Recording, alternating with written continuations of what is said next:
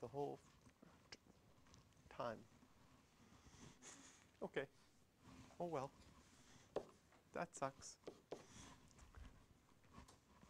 I get a plus 7x here. And minus 6 and 16 gives us 10. Yes? Yes, it would still be negative 7. Thank you for noticing that.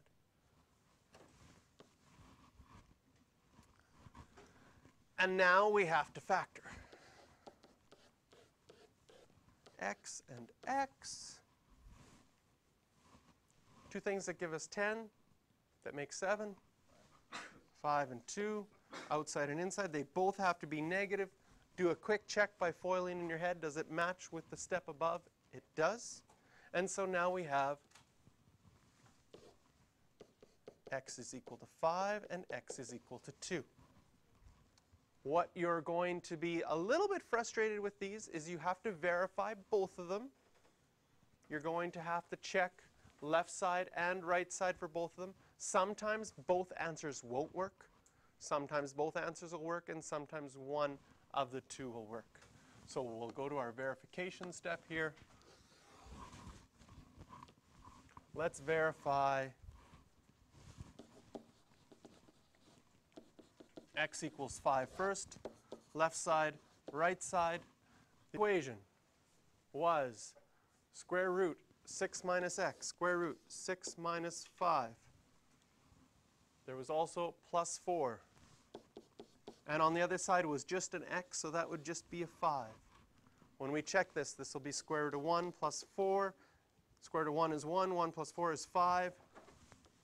This one is good. When we verify x equals 2, left side, right side, started off with square root of x minus 5 plus 4. Right side would just be 2. 2 minus 5 would be square root of negative 3 plus 4. Nope, did I write it wrong? So let's start again. It'd be 6 minus 2, right? There we go. 6 minus 2. That'll be square root of 4. Square root of 4 plus 2 will be 6. Do they match?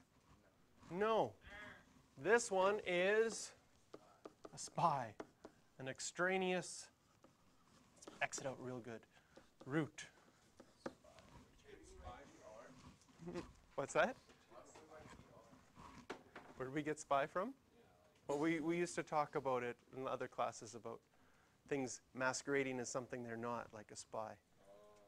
So it, it appears to be the right answer, but it's not really the right answer. It's a lie. Yes?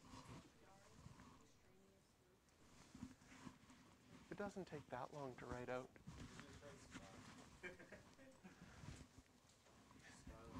No, you can write extraneous root. Is my spelling bad and you don't know how to spell it? X.